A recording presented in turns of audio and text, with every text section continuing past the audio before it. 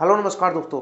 दोस्तों पीएफ के ऐसे मेंबर जो अपने पीएफ का पैसा निकलवाना चाहते हैं, ठीक है दोस्तों, और उनका जो भी पीएफ का पैसा उन्होंने फॉर्म भरा, वो बार बार में रिजेक्ट हो रहा है। तो दोस्तों, आप मेरे वीडियो को लास्ट तक देखना, क्योंकि मैं आपको इसके बारे में कंप्लीट प्रोसेस जो भी आपका लेटेस्ट प्रोसेस है, उसको मैं आपको इस वीडियो में बताने वाला हूँ।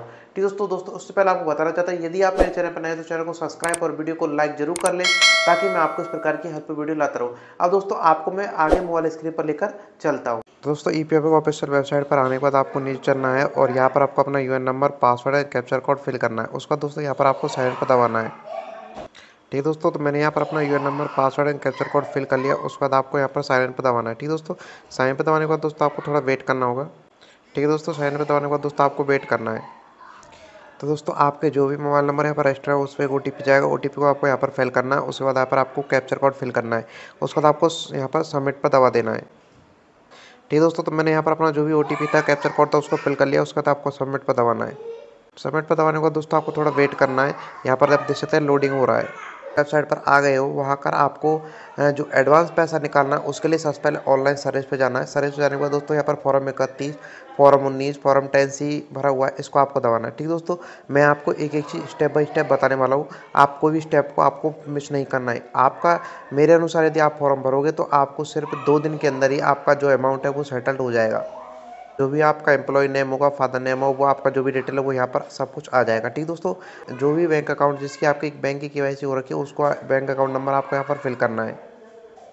फिल करने के बाद दोस्तों, यहाँ पर आपको वेरीफाई पे दबाना है। वेरीफाई पे दबाने के बाद दोस्तों, आपका जो भी बैंक अकाउंट नंबर होगा, वो जो ऐड है या नहीं, गलत तो आप यदि फिल नहीं कर रहे उसको यहाँ पर ये वेरीफाई कर लेगा।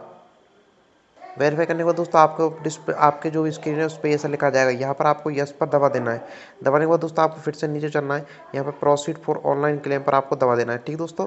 ठीक दोस्तों, उसके बाद आपके सामने अपना जो भी मोबाइल नंबर होगा और यू नंबर होगा, नाम होगा, वो सब कुछ यहाँ पर आ जाएगा। ठीक दोस्तों? अब दोस्तों यहाँ से सारे स्टेपों को आपको बिल्कुल ध्यानपूर्वक सुनना है। अब यहाँ पर लिखा हुआ I want to apply for तो आप यहाँ पर पी एफ़ एडवांस पैसा निकालना चाहते हैं, उसको आपको दवा देना है। ठीक है दोस्तों, यहाँ पर पी एफ़ एडवांस फॉर्म का सेलेक्ट कर लिया, उसके बाद आपको नीचे चलना और यहाँ पर सेलेक्ट सर्विस पे जाना है।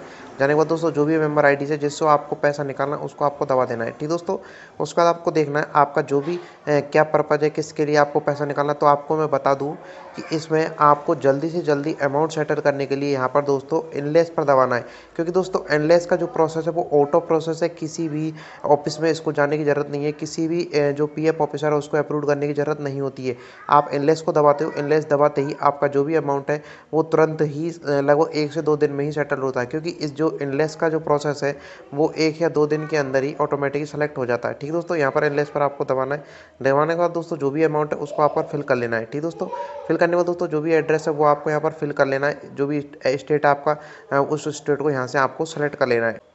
जो भी डिस्ट्रिक्ट है दोस्तों उसको यहाँ पर सेलेक्ट कर लेना है। ठीक है दोस्तों सेलेक्ट करने में दोस्तों आपका जो भी सिटी है वो यहाँ पर फिल कर देना है। पिन कोड नंबर भी फिल करना है। अब दोस्तों यहाँ पर आपको ध्यानपूर्वक सुनना है कि आपकी जो भी पासबुक है चेक बुक है, उसको यहाँ पर अपलोड करना है। लेकिन आपको ध्यान रखना है, उसकी साइज़ है सौ से पाँच सौ के बी के अंदर ही होनी चाहिए दोस्तों। और जो फॉर्मेट है पासबुक है चेकबुक का, वो जे पी जे और जेपीजी के अंदर ही होना चाहिए। यदि किसी और के अंदर है तो वो यहाँ पर फ़ोटो अपलोड नहीं होगा। ठीक दोस्तों, आपने जैसे यहाँ पर चूज़ फ़ाइल दबाकर अपना जो भी फ़ोटो अपलोड कर लिया, उसका दोस्तों यहाँ पर चेकबॉक्स पर दबाना है।